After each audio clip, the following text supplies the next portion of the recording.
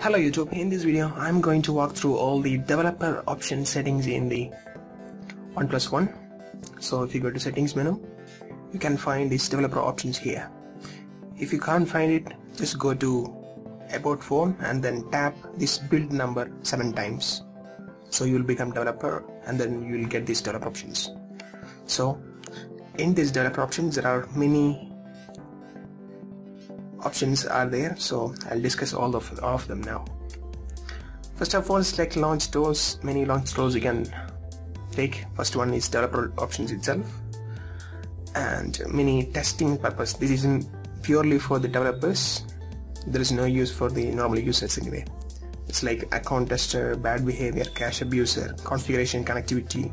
All these services are mainly for the developers. So you take in the next option there is a re advanced reboot option. Normally if you press and try to reboot you'll ask a single a normal simple reboot dialog. But instead if you click on advanced reboot and then try to click on reboot option you can find reboot.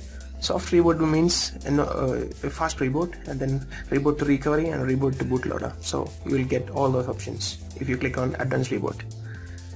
Next stay awake. If you click click on this one. The screen will never sleep while charging or plugged in. Uh, next option is like process status. So it will show all the process application process which was run on the memory of the time. So you can see Facebook, Facebook Messenger and all. From here you can also get the good idea which process is actually uh, draining your batteries and all. So that is there. And then enable quick boot mode if you just check this one the power of the phone will power off uh, within two seconds. It's that fast. You can try that one. And then update CM recovery. This you have to disable this click when you are trying to root the phone. I'll, I'll get into you later. And here is the Android debugging mode. This is the Android ADB or Android USB debugging mode. You can turn it on and then ADB over a network network. So you, if you click on that one you can actually access the ADB over the Wi-Fi or USB networks. And here is the Android device host name. You can change it if you want. And from here you can revoke all the USB debugging. There it is. Then power menu bug report. If you click on that one you can see there is a bug report button here in power menu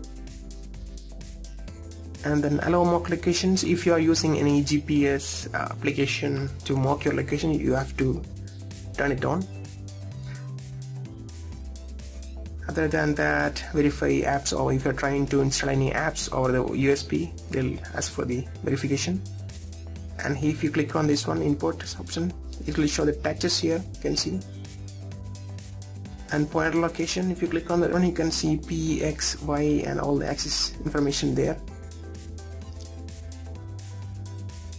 uh, next it's about the animation scale Windows animation scale and then transition animation scale. You can turn it you can uh, uh, decrease it for a fast animations. This will be helpful. If you need fast animation you can go there.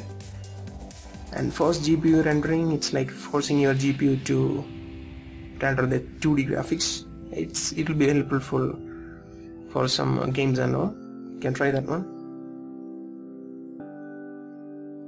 Other than that okay here in app section you can find a don't keep activities in the memory. So whenever you leave an app it will uh, destroy from the memory. And here is the option you can select runtime whether you need Dalvik or either need ART and background uh, process limit it's like standard limits. Like uh, how many processes you need to keep in memory. So you can select for this one.